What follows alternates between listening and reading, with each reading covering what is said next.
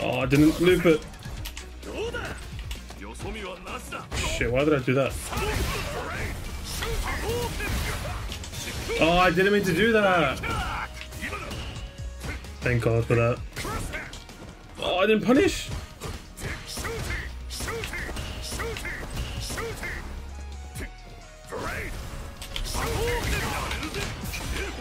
I grabbed him! I grabbed him!